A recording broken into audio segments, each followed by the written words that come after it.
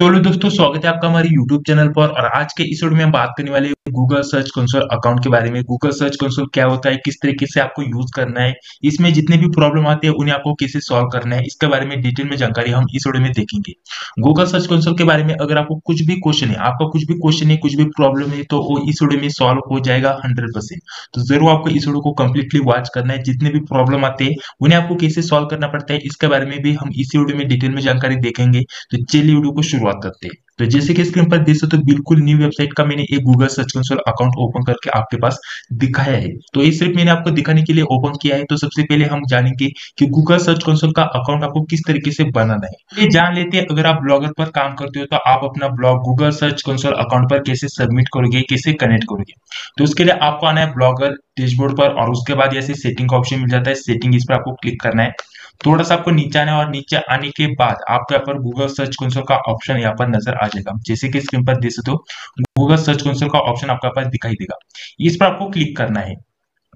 उसके बाद इस तरीके से आपके पास नज़र आ जाएगा। यहाँ पर आपको सबसे पहले अपने ब्लॉग की यूआरएल डालनी पड़ेगी।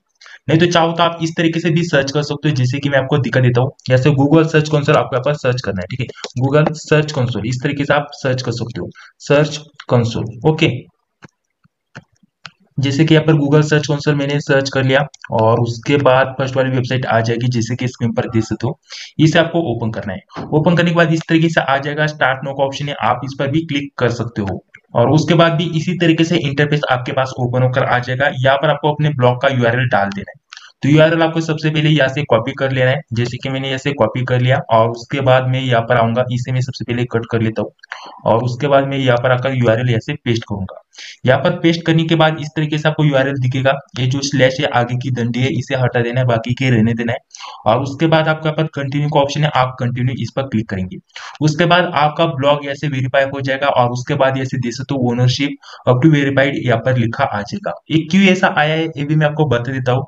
अगर आपका ब्लॉगर अकाउंट का ईमेल और आपका गूगल सर्च कंसोल का अकाउंट का ईमेल सेम है तो इस तरीके से आपकी डायरेक्टली आपकी प्रॉपर्टी वेरीफाई हो जाएगी। और गो टू प्रॉपर्टी का ऑप्शन है, आप इस पर क्लिक करोगे इस पर क्लिक करने के बाद इस तरीके से आपके पास नज़र आ जाएगा, जैसे कि आपका डोमेन यहाँ पर दिख जाएगा। चाहो तो आप अनलिमिटेड ऐसे वेबसाइट आपके ब्लॉग ऐसे एक ही अकाउंट पर ऐसे कनेक्ट कर सकते हो लिंक कर सकते हो, कोई भी प्रॉब्लम नहीं आएगा।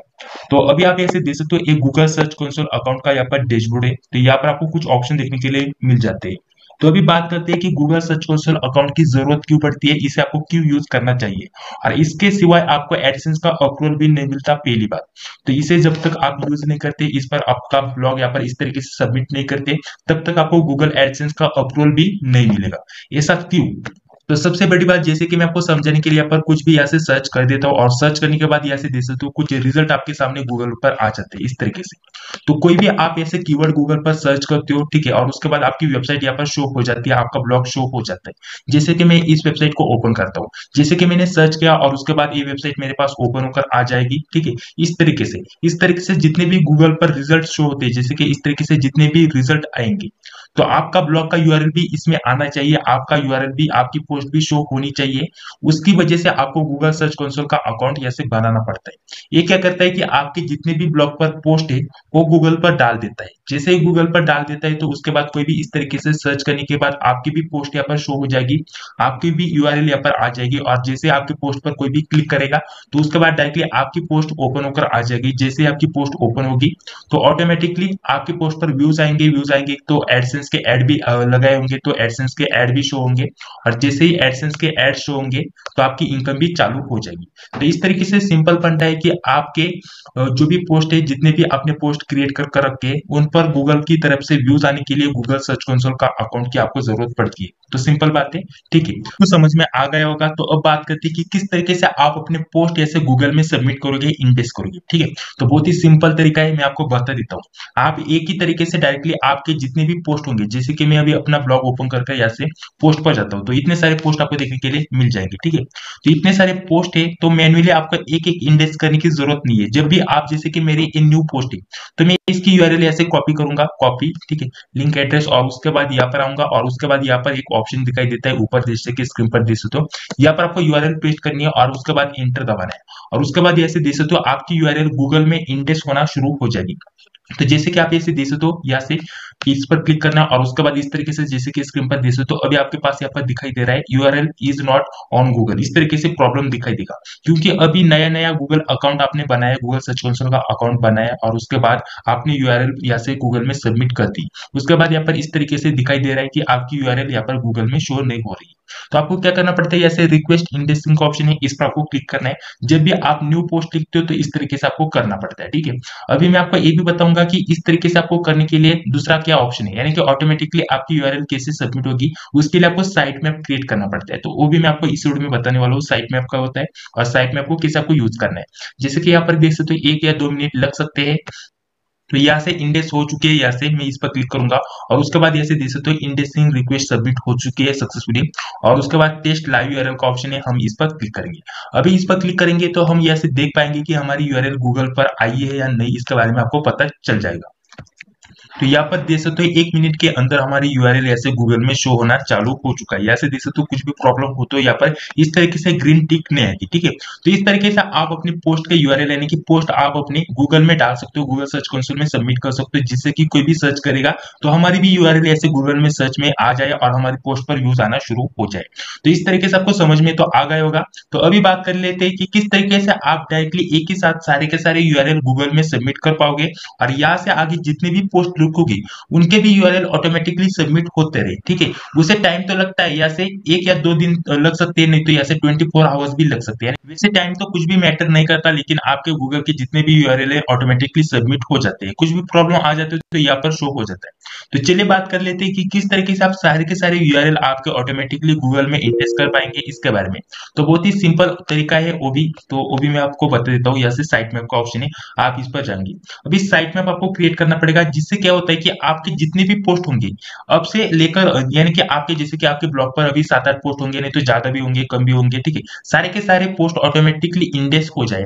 और साथ ही अब से लेकर आगे आप जितने भी पोस्ट लिखोगे, वो पोस्ट भी ऑटोमेटिकली गूगल में इंडेक्स होते रहे जिससे कि आपको मैन्युअली जाकर इंडेक्स ना करना पड़े, उसके लिए कौन सा तरीका है? उसके लिए साइट मैप तो साइट मैप आपको क्रिएट करना पड़ता है। तो उसके लिए आपको आना है गूगल पर और साइट मैप इस तरीके से लिखना है। ओके साइट मैप आप ऐसे इस तरीके से लिखोगे और डॉट एक्स एम एल ठीक है? एक्स एम एल ठीक है? इस तरीके से। एक्स एम एल इस तरीके से, जैसे कि स्क्रीन पर देख सकते हैं, इस वाली वेबसाइट को आपको ओपन करना है। X M L site map इस तरीके से आप टाइप कर सकते हो गूगल पर, यहाँ पर मैंने जैसे कि सर्च किया है sitemap dot X M L ठीक है? और उसके बाद पहली वाली वेबसाइट को आपको ओपन करना है। इसे ओपन करने के बाद आपको क्या करना है? आपकी ब्लॉग की यूआरएल आपको कॉपी करनी है, ठीक है? जैसे कि मैंने कॉपी कर ली। और उसके बाद यहाँ पर आना है और वो जो यूआरएल है आपको यहाँ पर डाल देनी है। आगे का स्लैश हटा देना है। और उसके बाद स्टार्ट का ऑप्शन है, आप स्टार्ट इस पर क्लिक करेंगे। जैसे ही स्टार्ट करेंगे तो आपके पोस्ट यानी कि आपके ब्लॉग पर जितने भी यूआरएल होंगे, जितने भी पोस्ट होंगे ऑटोमेटिकली स्कैन करना शुरू हो जाएगा। जैसे कि स्क्रीन पर देख सकते हो, नीचे स्कैनिंग चल रही है और उसके बाद आपका ब्लॉग का प्रीव्यू भी आपको देखने के लिए मिल जाता है। और उसके बाद यहाँ पर कंप्लीट हो चुका है, जैसे कि स्क्रीन पर देख सकते हो। अभी कंप्लीट हो चुका है, अभी आपको कुछ भी करने की ज़रूरत नहीं, यहाँ पर डायरेक्टली आप क्लोज कर सकते हो। अभी आपका काम हो चुका है। अभी आप क्या करोगे, आप जाओगे गूगल सर्च कंसोल अकाउंट पर उसके बाद यहाँ पर साइट मैप का ऑप्शन है, आप इस पर क्लिक करोगे। और उसके बाद यहाँ पर इस तरीके से यूआरएल आपकी दिख जाएगी। यहाँ से आगे आपको क्या टाइप करना है, अच्छे से देख लेना। आपको लिखना है साइट मैप ठीक है? साइट मैप डॉट एक्सएमएल ठीक है? एक्सएमएल इस तरीके से आपको लिख देना है। और उसके बाद सबमिट का ऑप्शन है, आप सबमिट इस पर क्लिक करोगे। अच्छे से देख लेना मैंने क्या यहाँ पर टाइप किया है। और उसके बाद ऐसे देख सकते हो, इस तरीके से साइट में आप सबमिटेड सक्सेसफुली लिखा आ रहा है, मैं ऐसे इस पर क्लिक करूँगा। और उसके बाद यहाँ पर देख सकते हो स्टेटस लिखा आ रहा है सक्सेस जैसे कि स्क्रीन पर देख सकते हो, सात यूआरएल हमारे यहाँ से सबमिट हो चुके हैं ऑटोमेटिकली जैसे कि हमारे पोस्ट कितने हैं, जैसे कि स्क्रीन पर देख सकते हो, सात पोस्ट है। इसकी वजह से हमारी सात ही पोस्ट यहाँ पर, सात ही यूआरएल यहाँ पर दिखाई दे रहा है। क्योंकि सात ही पोस्ट है तो सात ही पोस्ट सबमिट होंगे, ठीक है? इस तरीके से। अगर आपके ज़्यादा होंगे तो ज़्यादा दिखाई देंगे अब से लेकर आप जितने भी पोस्ट लिखोगे ऑटोमेटिकली साइट मैप की वजह से ऑटोमेटिकली सबमिट होते रहेंगे। अगर नहीं होते तो फिर से आपको क्या करना है? यहाँ पर आना है और उसके बाद साइट मैप लिखना है, जैसे कि मैंने आपको बताया था।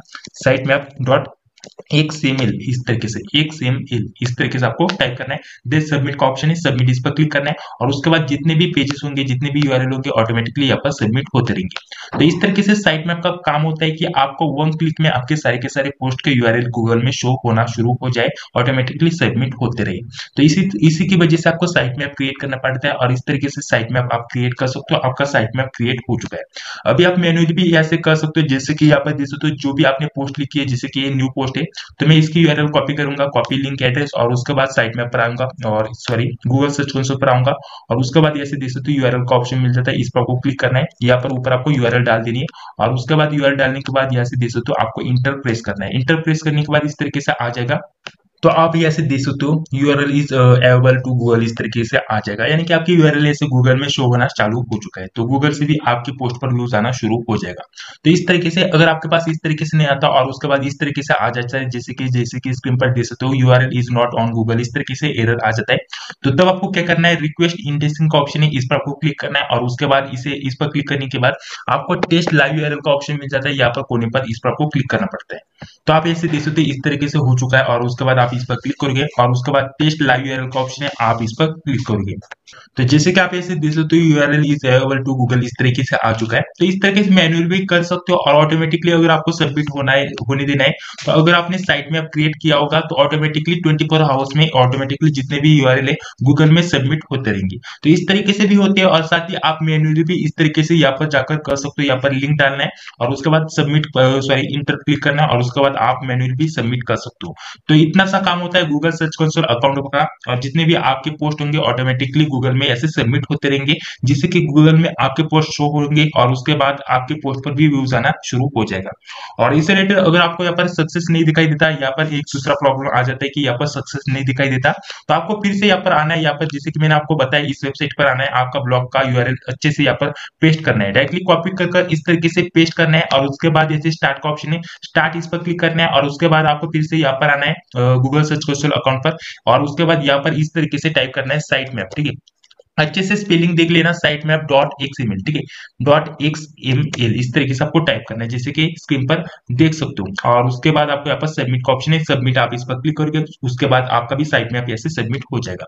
तो इस तरीके से सिंपल प्रोसेस है। और उसके बाद यहाँ से बहुत सारे बंदों के ये भी क्वेश्चन आ जाते हैं कि हमारी यू आर ऐसे इंडेक्स नहीं हो रही है, और जैसे हम इस पर प्रेस करते हैं तो हमारी यूआरएल गूगल में शो नहीं होती। इस तरीके से एरर दिखाई देता है। तो इसे पूरी तरीके से ग्रीन होने में ट्वेंटी फोर आवर्स लग सकते हो, नहीं तो एक या दो दिन भी लग सकते हैं इस तरीके से। तो कुछ भी डरने की बात नहीं ऑटोमेटिकली आपके यूआरएल गूगल में इंडेक्स होते रहेंगे गूगल से व्यूज़ आना शुरू हो जाएगा।